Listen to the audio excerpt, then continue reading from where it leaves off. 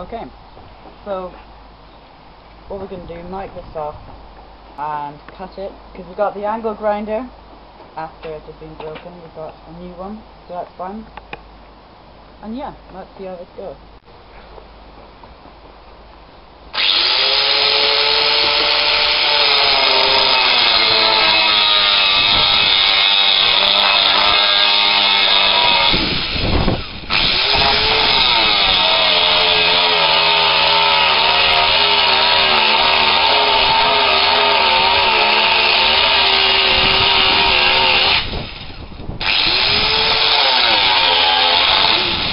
You clearly have not played the drums for long because that is not loud.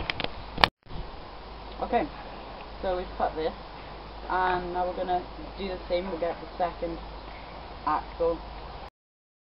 Okay, so we've made this so far, which is basically our rolling chassis, and this is our, our axles, and securely, well not really, held on by these two bits of wood, uh, screwed on fairly loosely so they can both free rotate.